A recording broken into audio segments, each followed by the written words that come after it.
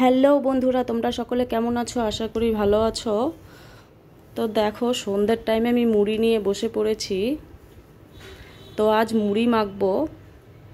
তো এখানে রয়েছে মুড়ি, এখানে রয়েছে চানাচুর, কুচনো পেঁয়াজ, সর্ষের তেল, আচার আর একটু পেঁয়াজি। তো আমি ভালোভাবে এখন মুড়িগুলোকে মেখে নেব। আচার দিয়ে দিলাম এর মধ্যে। চানাচুর, কুচনো পেঁয়াজ, এরপরে দিয়ে দিলাম সর্ষের তেল। তো সবাই মিলে মুড়ি খাওয়ার মজাটাই আলাদা সন্ধ্যের টাইমে তো আমি মুড়িকে এবার ভালোভাবে মেখে নেব।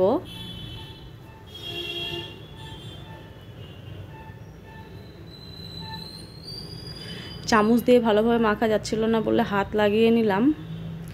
তো হাত দিয়ে আমি ভালো করে মেখে নিচ্ছি মুড়িগুলো। তো এখানে কিছুটা পরিমাণ আমি পেঁয়াজি ভেজে নিয়েছি। তো মুড়ির সাথে তো দারুণ লাগে পেঁয়াজি খেতে। তো আমার মাখা শেষ। এখানে আমি পেঁয়াজিগুলো ঢেলে দিলাম। তো চলো এখন ও ঘরে চলে যাই। ও ঘরে গিয়ে সবাই মিলে একসঙ্গে নিচে বসে খাব। তো বিছানায় তুলবো না, তার কারণ পেঁয়াজ এসব আমি বিছানায় তুলি না।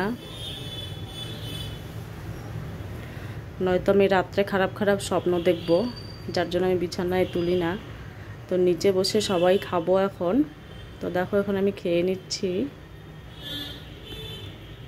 আর আমার বড় খেতে বসেছে। তো আমার ছেলেও বসেছে। তো সবাই মিলে একসঙ্গেই মুড়ি খাওয়া হচ্ছে। তো বেশ মজাই হচ্ছিল সবাই মিলে একসঙ্গে খাওয়ার মজাটাই যেন আলাদা।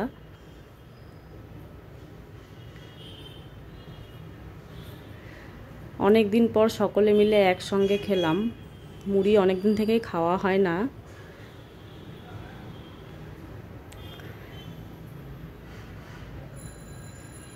তো পেঁয়াজিটা দারুণ হয়েছিল খেতে, আমি নিজেই ভেজেছি ঘরে।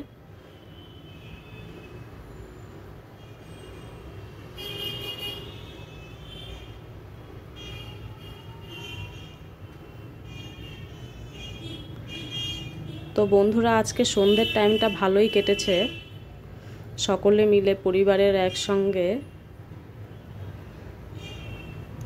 তো তোমাদের এরকম সবাই মিলে একসঙ্গে মুড়ি খেতে কার কার ভালো লাগে অবশ্যই জানিও।